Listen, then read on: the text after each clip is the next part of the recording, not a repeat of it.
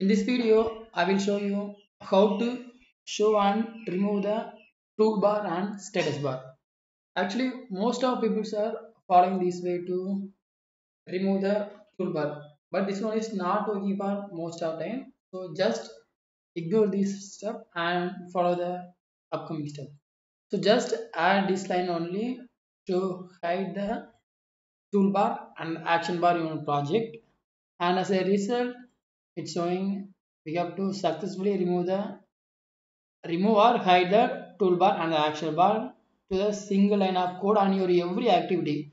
Suppose if you have three activity you have to add every activity in this line to continuously remove or hide the toolbar and action bar. This is the first method. And second one is if you want to remove or hide the status bar just add these two line bar to hide the status bar and our app showing the full screen.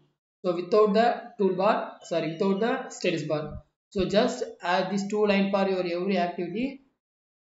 Here for example i have to i have to hide the status bar. So here i have the command section.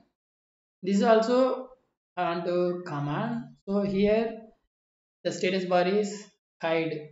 Sorry the status bar is showing when I have uncommand this the status bar is the status bar is hide. So this is a step for to follow the steps now I have to command this so this is a step for show and remove toolbar action bar then status bar. And if you have any doubt just comment below. I will help you to how to fix that just mind that this is the single line for hide your toolbar and don't follow this step to hide your action bar because the sometimes it, it crash our app. So don't follow this step to hide your action bar. Alternatively you can add this in every activity git support action bar hide so it's entirely hide your action bar. So this is a, the this method is very better. And add this two line for show or up in full screen. Suppose if you want to don't add just hide the line.